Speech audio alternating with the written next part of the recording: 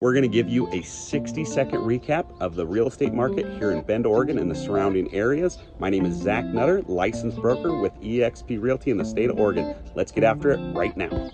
So Bend's median home price last month was 685,000, which is up $2,000 from January last year, which it was 683,000. Redmond, on the other hand, was 420,000 last month as compared to $500,000 in median home price just a year ago. So Redmond's pricing has come down a lot January compared to January of last year.